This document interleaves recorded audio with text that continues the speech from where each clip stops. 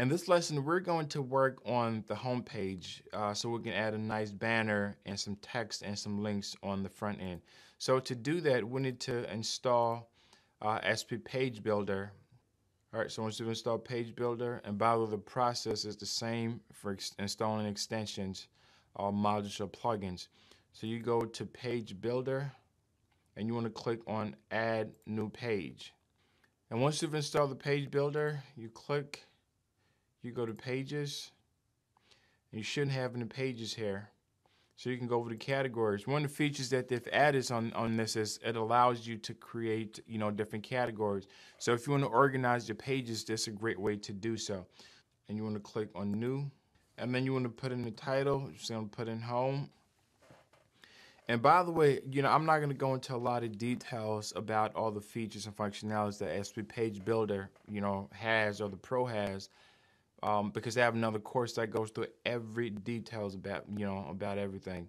So what we want to do here now is we want to use what's called an add-on.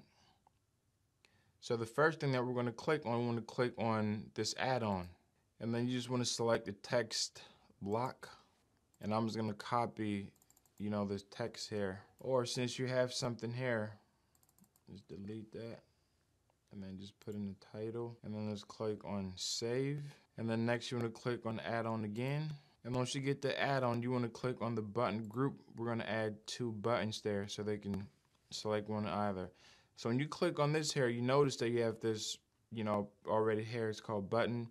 So I'm just gonna grab the text from this one see our latest movies. So let me type this. You just click on it and you can it gives you a drop down and then it gives the option to put a link. Since we don't have any links here, you can just, you know, put that hashtag sign. And then you can choose the color for this as well and the size of it. So I'm going to choose in primary. You can choose an icon. You want to choose the video. Okay, and then you click, come back, and you want to click, click it again, and it's going to minimize it. So I'm just going to click on this copy and this is going to copy the, the uh, what you did before but I'm just going to change the title. What do I have here? Uh, sign up to the to the only seven. No it's not. So you put in sign up today for only seven a month. Same thing and just click on you can choose the button here too. I'm going to choose in whatever you want to choose you can you know make that choice and click on save and then we're to add another add-on. And this add-on this is to be an empty space. So the empty space is to give space between two items.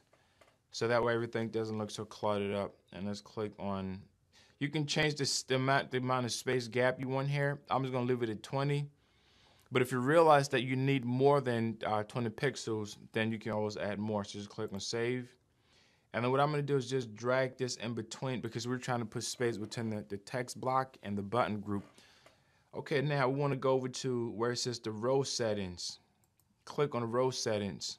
And then I'm just going to grab this title and put it there. And then I want to put this as a H1 tag. So scroll down here. This is where you get to select the image that goes in the background. So I'm going to click select and then going to click on upload. So I have an image. This is the image that I want to use. I'm to once you upload, you click on it again and you click insert. So that's the image that's to show in the background. And then we want to um,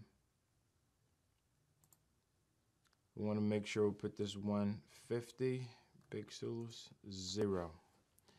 And then let's click on apply. Okay, so let's click on, we're going to save this. And once you've saved it, you want to preview it. And let's click on the view page. This is going to show you a preview of what it looks like. So there you have it now. You know, showing you the Rio 2 and the nice background. And they can be able to choose, you know, uh, something like this. Okay, so we want to make some, you know, some changes to this here.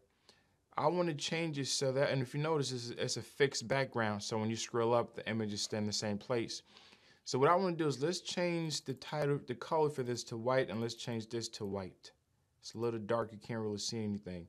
So you want to go back to text block and click on the edit.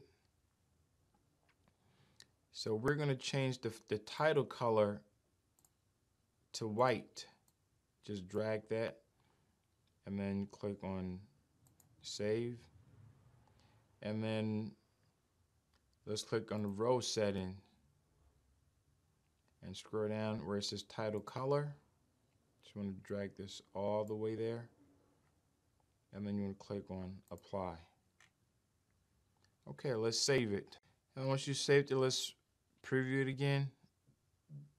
So now you notice the words are white. And if you want to change, you know, of course, you want to change this sign up here. you can also change the sign up with different icons. So let's go back to those button group there.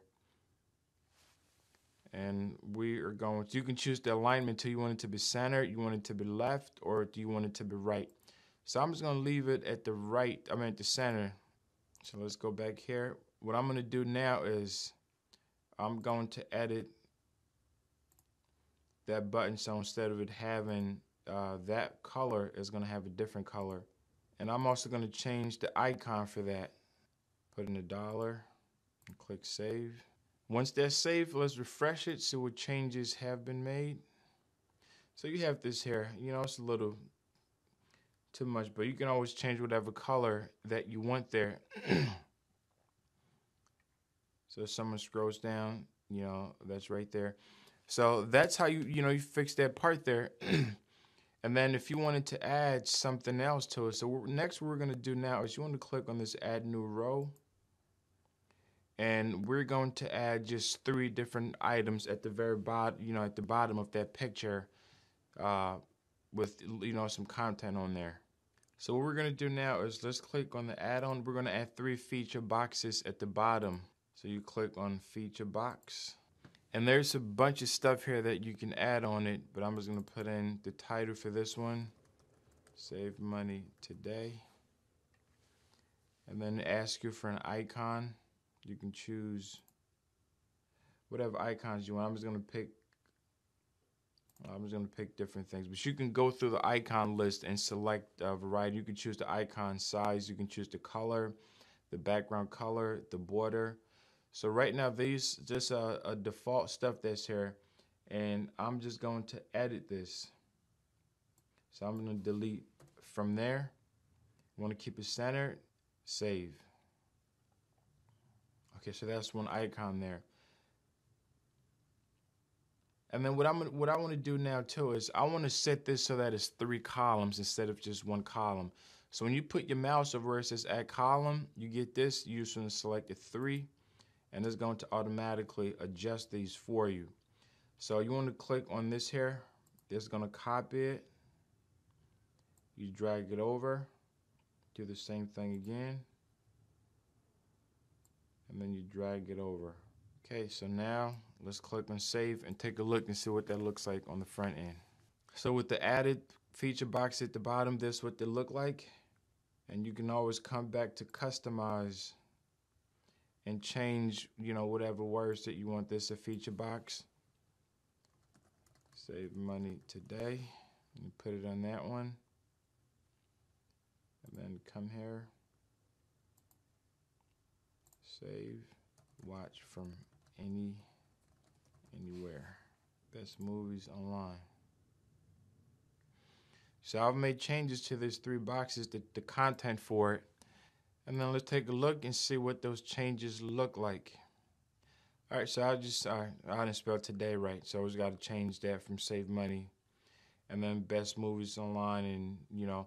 So this is to give an idea of how it looks and you can customize and change and tweak more. So in the future lesson, I'm going to show you how we're going to come back later and we're going to finalize the homepage. But this is a good start now. All right, let's move on to the next lesson.